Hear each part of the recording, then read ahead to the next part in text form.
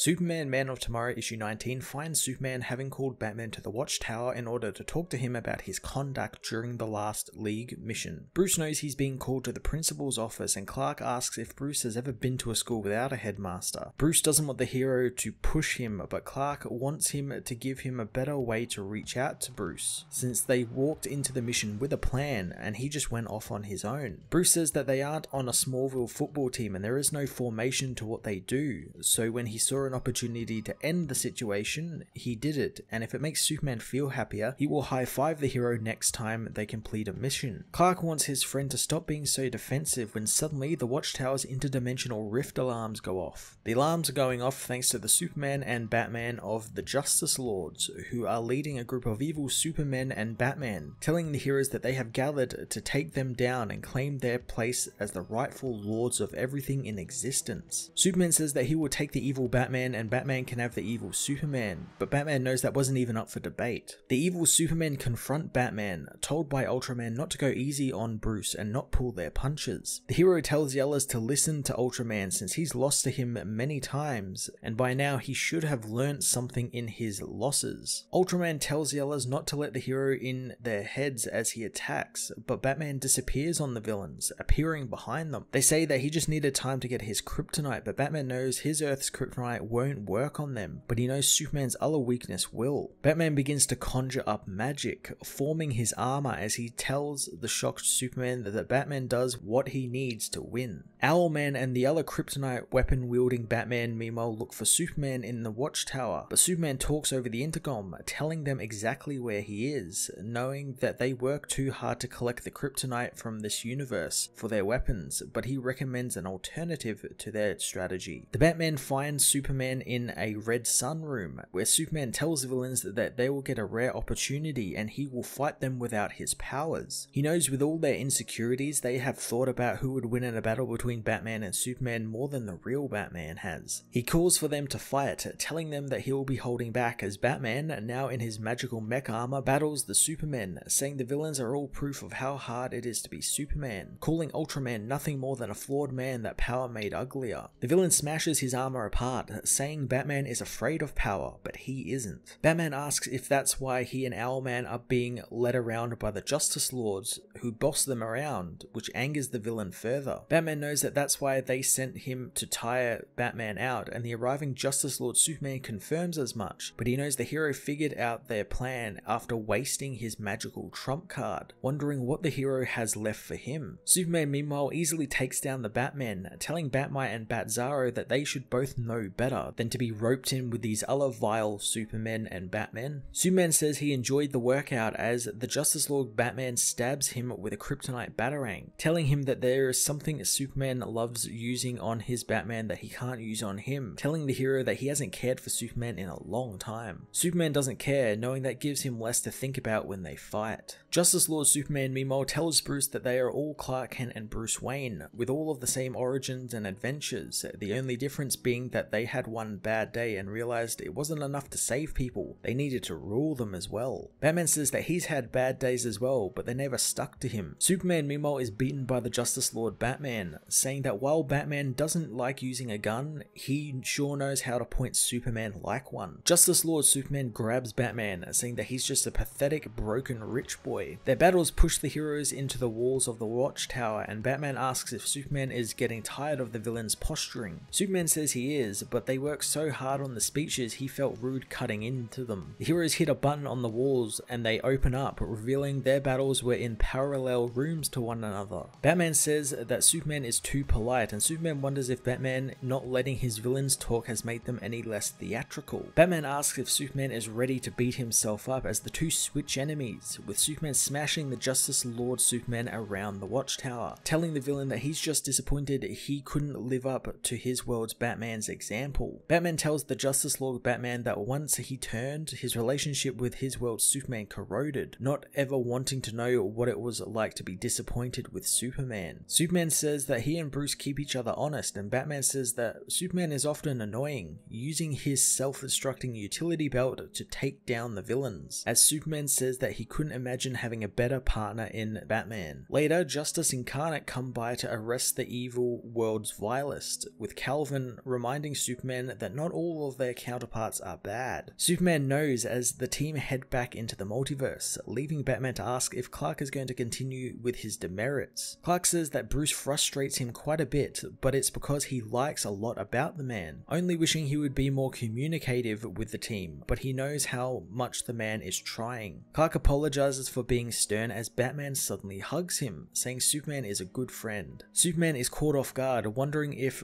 what just happened really happened, but Batman says it did. However, no one will ever believe Superman was hugged by Batman. Superman Man of Tomorrow issue 19 was an incredibly fun, world's finest team up story with Superman and Batman battling their greatest evil counterparts through the Watchtower and proving why they are called the world's finest. I absolutely enjoyed how it seemed that both Batman and Superman were having a lot of fun this issue, both enjoying battling their evil doppelgangers and Superman even going that little bit extra and kind of fighting with one hand tied behind his back with no superpowers sort of thing, kind of being a little bit cocky, but that was all part of the plan, which I thought was a brilliant plan and I enjoyed watching it sort of come together and sort of be pieced together as these heroes would absolutely have a plan in place should they be attacked by evil doppelgangers of each other. I also love that the story showed exactly why Batman and Superman work so well together and balance each other's attitudes and approach to life out. Their little parts about Superman really liking Bruce and understanding what he was doing and then Bruce obviously understanding the power isn't what makes Superman special, it's, it's the man part of the Superman name. I've been thoroughly enjoying these little one-off storylines that the book has been turned into and the ending of this left me with a big smile on my face and perfectly shows why I love these heroes so much. I'm going to give this issue a 10 out of 10.